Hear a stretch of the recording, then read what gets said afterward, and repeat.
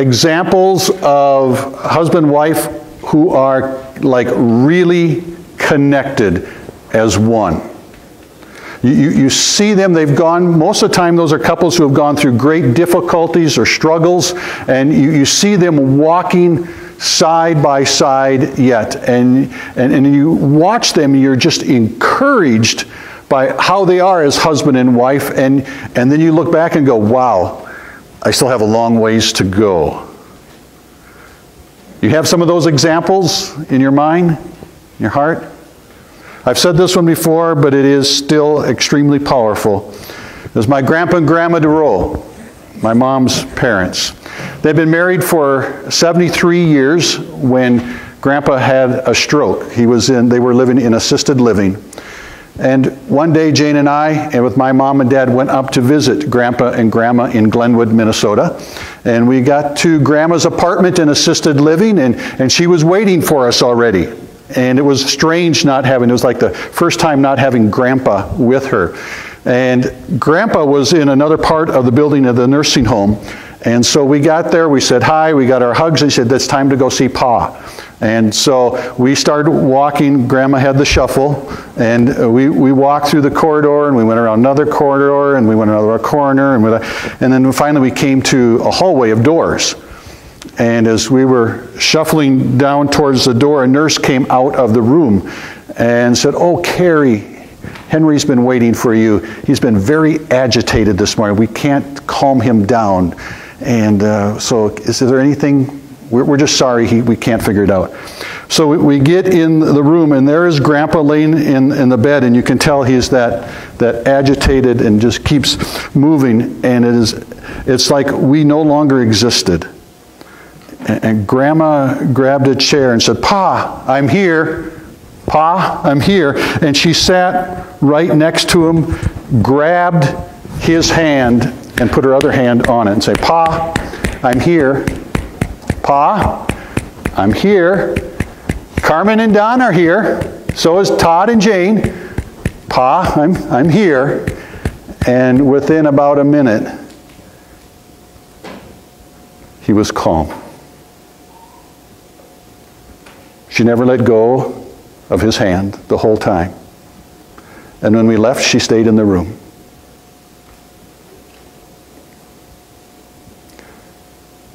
I got a long ways to go. That was a couple that were made one flesh body, spirit, soul, emotion, you name it. It was, they were one. And I've found it amazing that in each place where we've, uh, we've gone, there has, there have always been couples like that that have shown us what it means to be one. In Galesburg, I remember the Petersons after a tragic accident of a young couple, leaving her extremely brain damaged. And he raising two young kids by her, by her side for years and years and years for the Davis family, in which she, having severe rheumatoid arthritis and almost totally incapacitated, her husband took care of her. And when she had to go to the hospital, he had to take care of her. He had to, because the nurses were too rough with her, they just didn't know how to handle her. And he would carry her wherever she needed to go. I remember the, the Disterhops as Alzheimer's stepped in, and she taking care of her husband. And here too.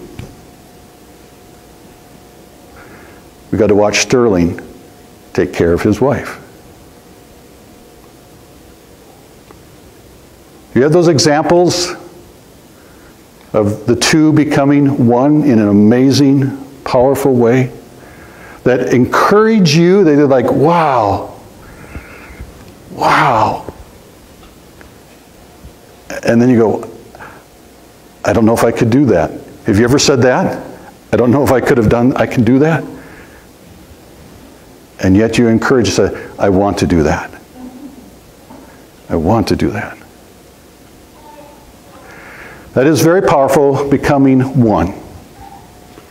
One with your spouse and one with the Lord. It is an amazing bond. And today, as we come toward the end of our, our study in the Song of Songs, we have watched this husband and wife come from a, place where she's from not she's coming from the outside coming in and and she wants to stay where she's at and he keeps coming to her and inviting her to come with him and and and to a, into this relationship to come in him with a new home. And, and there's been opportunities for her to um, to get away trying to get away and enjoy what was once but she is always called back to be alongside of him. And in this last moments we see them becoming one. So we're looking at from chapter 7 verse 11 and if we can we're going to try to make it all the way through the book. Okay so that's chapter and a half. Um, we're going to try to motor. Sorry about that.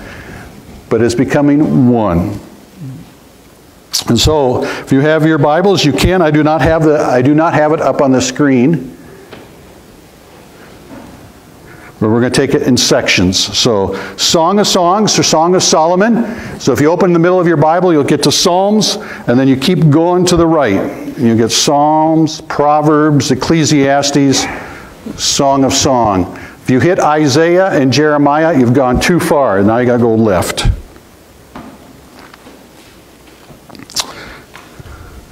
We're going to do this first section, starting at verse 11. Come, my beloved, let's go out into the fields and lodge in the villages. Let us go out early in the vineyards and see whether the vines have budded, whether the grape blossoms have opened and the pomegranates are in bloom. There I will give you my love. The mandrakes give forth fragrance, and beside our doors are all choice fruits, new as well as old, which I have laid up for you, O my beloved. Oh, that you were like a brother to me who nursed me, uh, nursed at my mother's breasts. If I found you outside, I would kiss you, and none would despise me. I would lead you and bring you into the house of my mother, who, she who used to teach me. I would give you spiced wine to drink, the juice of my pomegranate. His left hand is under my head, and his right hand embraces me. I adjure you, O daughters of Jerusalem, that you do not stir up or awaken love until it pleases. In this section, there is kind of like two different thoughts are going on. And, and so first is the invitation to get away. She initiates it. And so there are two things, ideas of probably with this, that she's going, she is telling her husband, let's get out of Dodge. You ever wanted to get out of Dodge? Yeah, let's go. He says. Let's, she says, "Let's go. Let's go out in the village. Let's go out in the village. Let's go get away someplace, and someplace with not concrete. Let's go out to the vineyards. Let's go out in the country with vines of blossom, pomegranates. And let's just, just get away, the two of us. It is also an invitation for she wants to be intimate with him. Let's get out of here. I say, how do you know that? Well, the, again, vineyards and whatever is like the woman's body in some sense, but it's more towards the mandrakes. Mandrakes was kind of known as that fragrance that caused sexual arousal and, and, and fertility. And so she's really saying, let's, let's get out. Let's get away and just have the two of us. No kids, no parents, no friends. Let's just be the two of us to be together. Sense of, I'll give you choice fruits, new as old um, how many of you, I, I don't think she's talking plums here or plums and prunes, like old or new. It, it's, it's more that encompassing saying, I'm going to give my total being to you. It's kind of like it's the, the, the sun and the earth, all of creation, or it's from uh, DC to California. It covers all the U.S. So she's saying, I want to give you my whole being. It is that step of, I am totally yours. So the first part there says, let's, let's get away. The second part is PDA, public display of affection issues.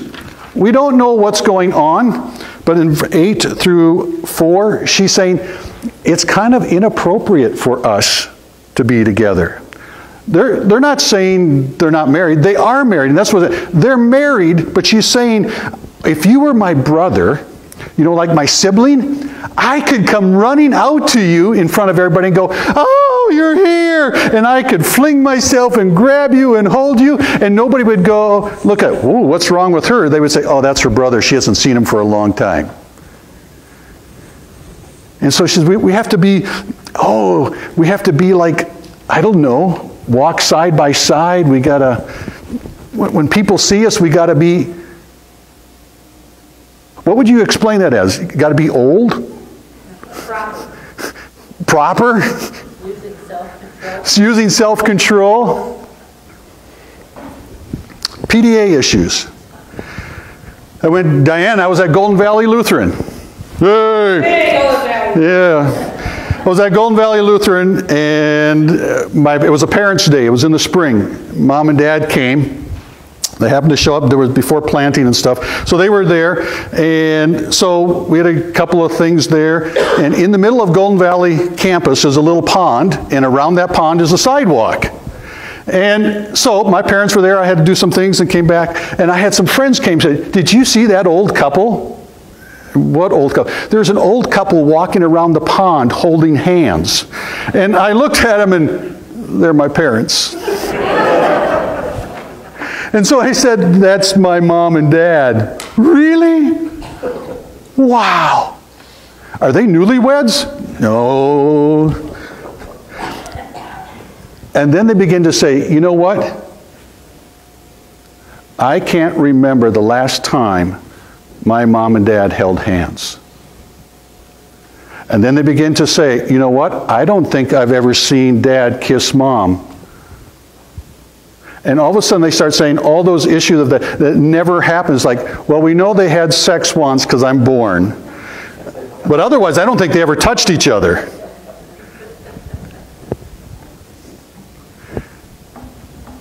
That was my mom and dad. and they held hands through all their 57 years of marriage. And my dad got in trouble sometimes when he touched my mom. Don, not here.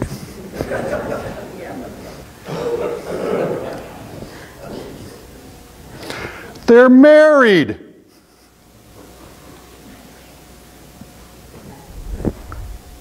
They're married.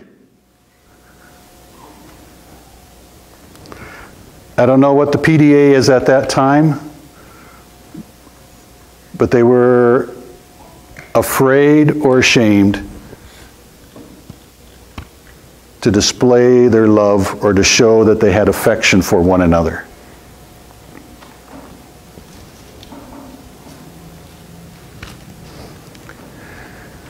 Then verse 5 shows up. It- we think it's probably somebody in there says, who's, it says, Who is coming up from the wilderness leaning on her beloved? We don't know who's saying it. It's neither one of the, it's not the woman or the guy. We've changed places. Um, and, and then there's a statement Under the apple tree, I, I awakened you. There your mother was in labor with you. There she who bore you was in labor. Um, kind of in the midst of that. So the same word, the word there for awaken is aroused. Under the apple tree I aroused you. There your mother was in labor. The same word is also translated conceived.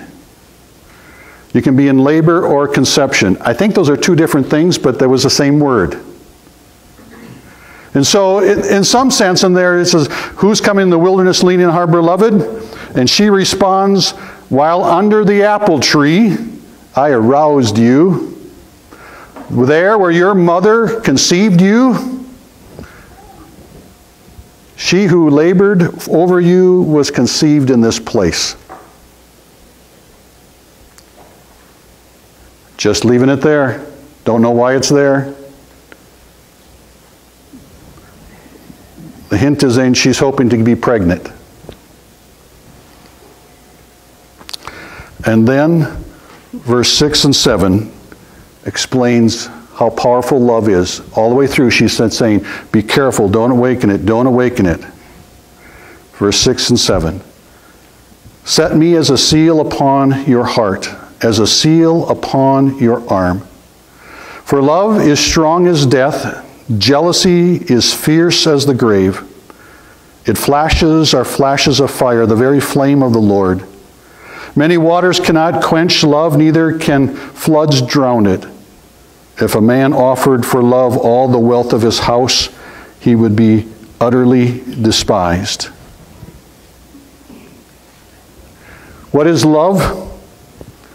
She says, Put me as a seal on your heart and your arm, like a, a, a signet ring, put a, a, mark. We've been talking about that in, in Bible study or in Sunday school, that signet ring. Put, make it be an etched mark on your heart and on your arm. Meaning like, let all, my, let all your thoughts, let all your emotions, let all your actions be a response to how much you love me. Let me make a difference in your life and how you live life that whatever you do, it's like, that's, this is for my bride, my beloved. Love will leave a mark on you. Have you noticed that? The way you think, the way you feel, the things you do. Do you remember trying to buy dumb gifts for your beloved guys? You're going, what would be what would be the right thing? What would say the right thing? What do I I was too cheap to buy flowers, so that wasn't even on the issue. But I heard guys going, "No, do I give her a yellow flower? Do I give her a red flower? Do I give her the white flower?" Because I, you know, the women say there's different colors mean different things, and I don't want to be too. Now I go, "What's on sale?" that one's nearly dead. Can I buy it for 50 cents? Love will make you think and do crazy stuff because you're thinking of the other. Said, love is stronger than death. How strong is death? Permanent. Permanent. What does it say about love? It's more than permanent. Actually, it's eternal. Isn't it amazing that Paul says, in, says, abide in which three? Faith, hope, and love. But the greatest of these is love. Why? Because love is the only thing that continues on into eternity.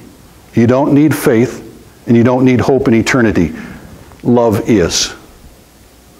Love is stronger than death, and death is going to one day, though is, is, is almost impossible to break, it will be broken. Love is stronger than death. Love is more jealous than the grave. Jealousy, doesn't seem like that's a good way to put it, but jealousy is also used to describe God's love for his people. He is a jealous God. Not in an evil, negative way, but he it hurts him to see his kids in the arms of another lover God. It hurts him to see his people in the arms of someone else. Guys, how many of you appreciate your wife being hugged and kissed and whatnot with somebody else? How many of you gals hope that somebody else will hug and kiss your hubby? Doesn't it bring nice tingly feelings all over in you? What does it do? We're in trouble fast, right? It just it stirs up fast. So like, you get away from him. You get away from her, you. Love stirs that. Don't touch what's not yours.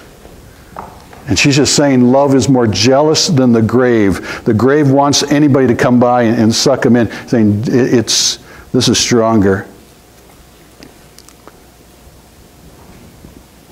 Because when you when you love someone, you give them your whole being. You give them everything. And, and when that's given totally to somebody, and they take and stomp on it to go after something else, it always hurts. Painfully.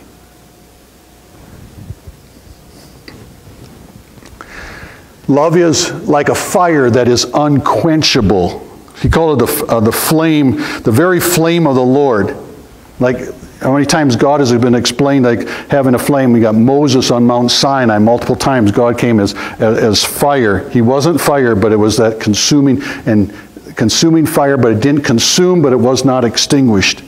So that, that, that love is just, it, it's a fire that cannot be quenched in any way. Saying waters, no matter how many waters you have, no matter how many tsunamis come, no matter how much comes there, it cannot quench that fire, it cannot put out those embers. In some sense, very really, of all the problems in life, whether you have problem after problem or difficulty after difficulties, trouble and struggles and whatnot, it cannot quench love. And love is not for sale. If a man offered for love all the wealth of his house, he would be utterly despised. You cannot buy love. You cannot. No amount of money can buy it. If it is, it's just a cheap commodity.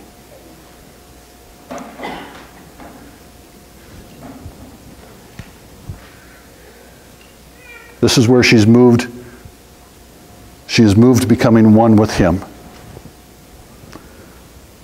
And he with her. And this is their bond, love. It's a seal on both of their heart and arm. It is stronger than death. It is more jealous than the grave. It is unquenchable and it's not for sale. When you share a love like that,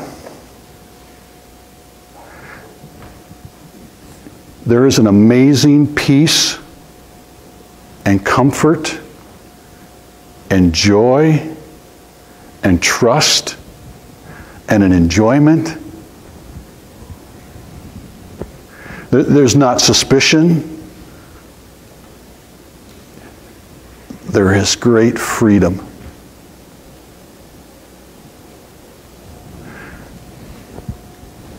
This kind of love that seems like it's way over the top is the safest and most fulfilling kind of love you'll ever experience.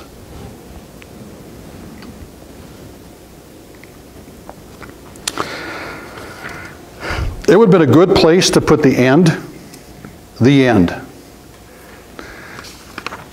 But there's still a few more verses, and um, so we're going to just finish the book. I can stop here. Do you want to stop here, or we go finish it up?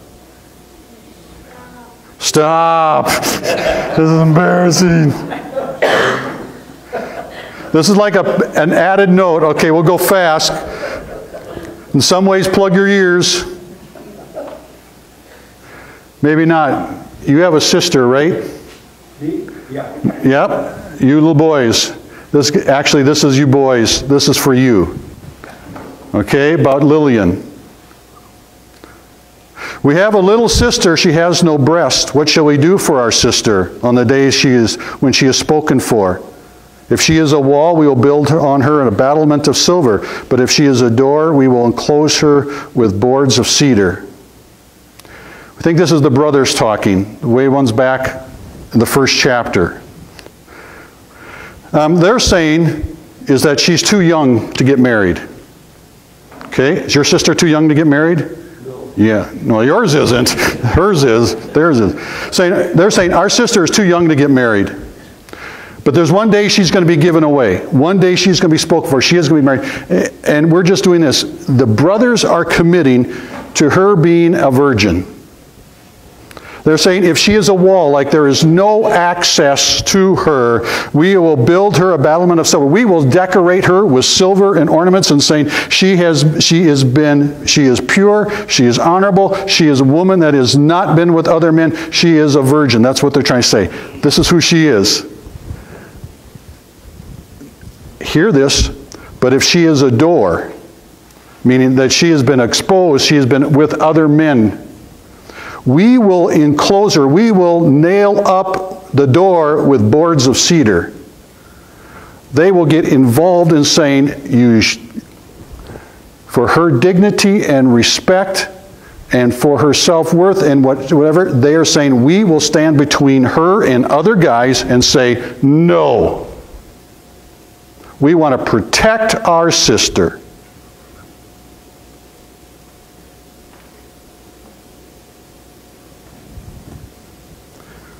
We are not going to let her go and do whatever she wanted.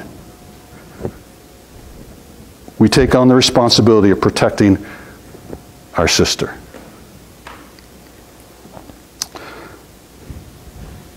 She gets to respond. Verse 10 I was like a wall, I am a virgin, and my breasts are like towers not saying anything. She's what she's saying is, I am mature and ready for marriage. And when I was in his eyes as one who finds peace, I am a virgin, I am ready to be married, and together we find peace. We find contentment. We will be satisfied in each other.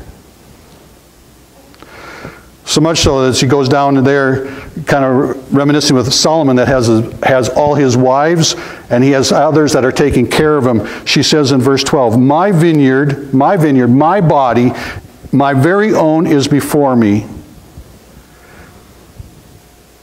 She's saying that, and Solomon, you have all your others, you're taking care of them. I am my own. In verse 13, and you who dwell in the gardens with companions, listen to, to for your voice. Let me hear it. And verse 14, she says, Make haste, my beloved. My vineyard is my own, my body is my own. I have kept it separate from my spouse, from my husband. And I'm saying to him, Make haste, my beloved. Come and be like a gazelle or a young stag on the mountain of spices. Let no obstacle stop you. Let nothing stop you. Come, I am yours. It is an invitation for him to come and to be with her.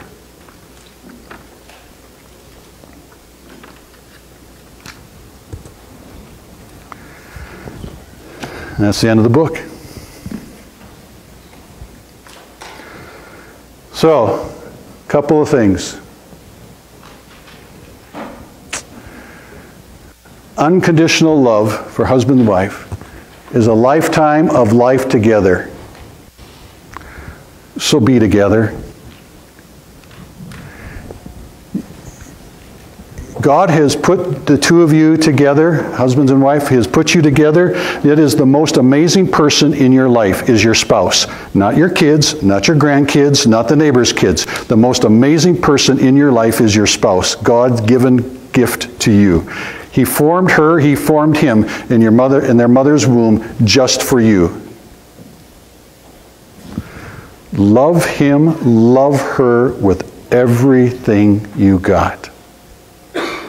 Let the description of love that it is it is as stronger than the grave, that it is jealous or jealous as the grave, that is stronger than death, that is unquenchable and unbought. Let that be your description of how you love your hubby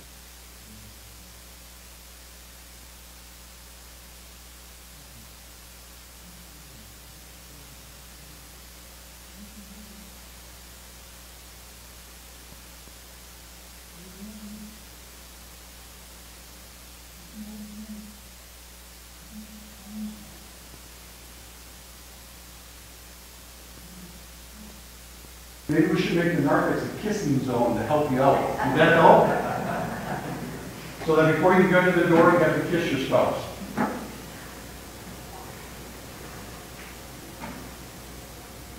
I, I, I want to help us for our children. Our children need to know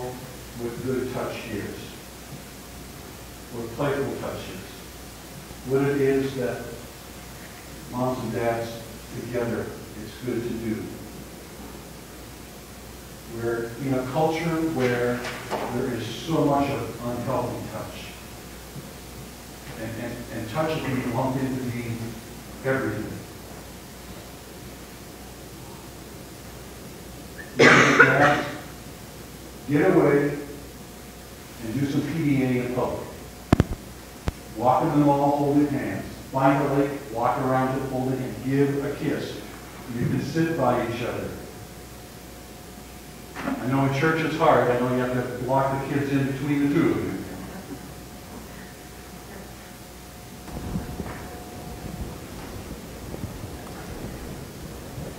Please, please, do good touch.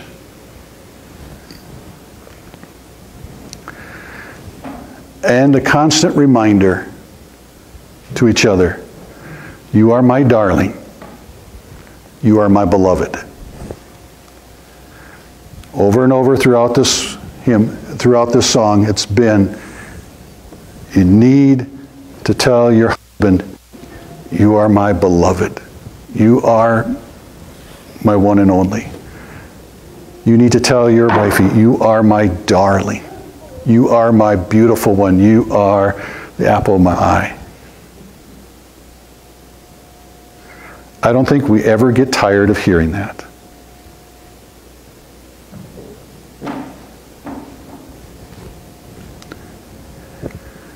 For Christ in the church, what does this look like for us? I just want you to know that Jesus loves us very, very much. In fact, I just want you to know, as she said, put me as a signet on your, on your heart and your arms. Jesus has already done that. He has already got you in, on his heart and his, and his arm, in his hands and in his feet of how much he loves you. The marks are there. He, he sees it every day. He, he looks at it and he reminds me, that's why I love. This is whom I love. You are on his heart and you are in all his actions. He loves you very, very much. Meaning us as a body of believers. He loves us.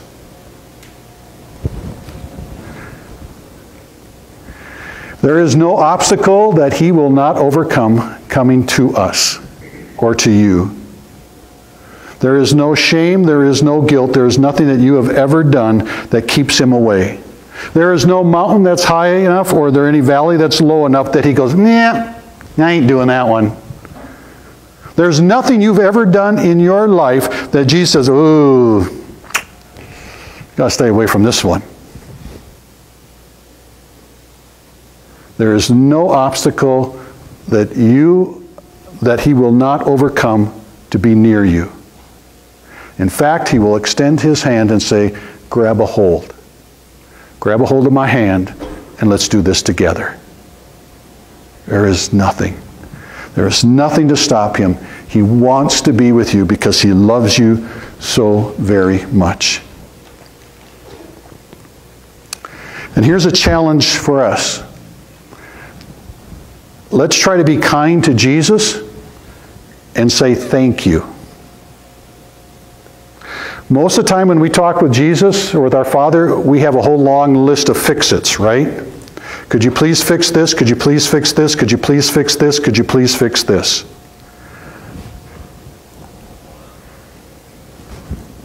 How many of you like to be called all the time just to fix things? But the only time you get a call is that there's something broken and you need to fix it. I'm going to say Jesus is kind of the same way. He loves it when you give him a call and say, hey, thank you. Thank you for what you've done. Thank you for what you are doing. Thank you for what you will do. Thank you for the blessing in my life. Thank you for putting me in this valley right now because now I'm learning to lean into you. Thank you for the obstacles I'm going through. Thank you that you came to me. Thank you that you've promised to be with me and will not forsake me.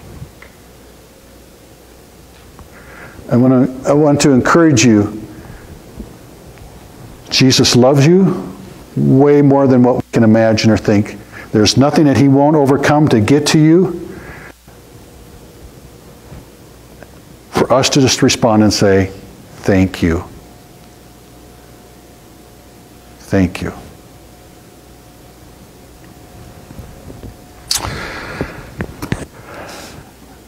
And that's it.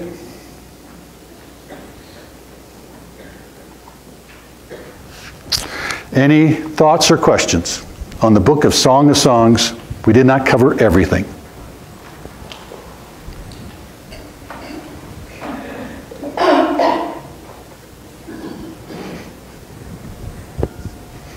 Don. I find it interesting, the parallel between, and uh, I am um, touched by the parallel between a married couple and Jesus and their gratitude. Very It is, it is very good. Hmm?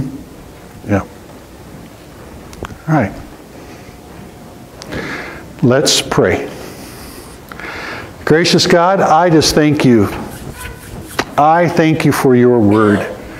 I thank you for your amazing love letter called the Bible and the amazing love letter in the Song of Songs.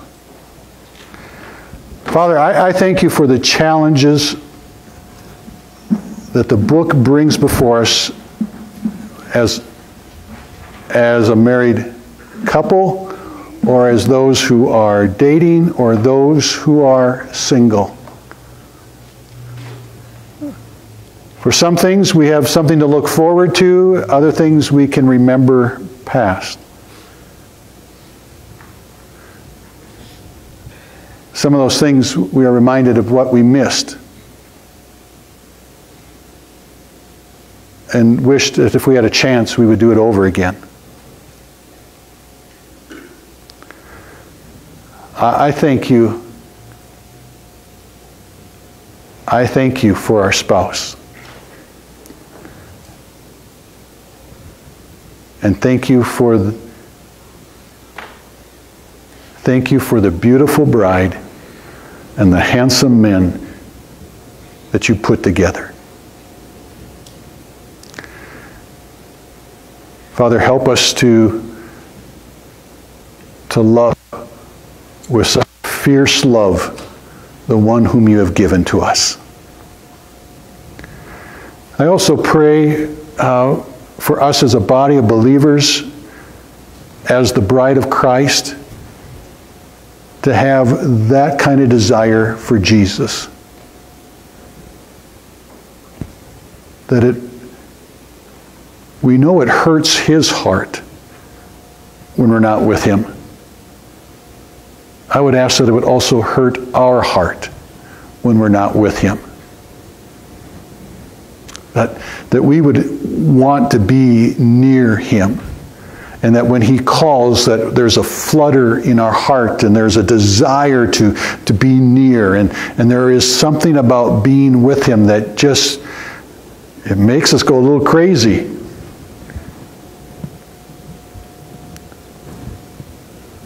help us help us to embrace that we are the bride of christ greatly loved fiercely loved who is getting ready for an amazing day of eternity. Bless my brothers and sisters with more of your Spirit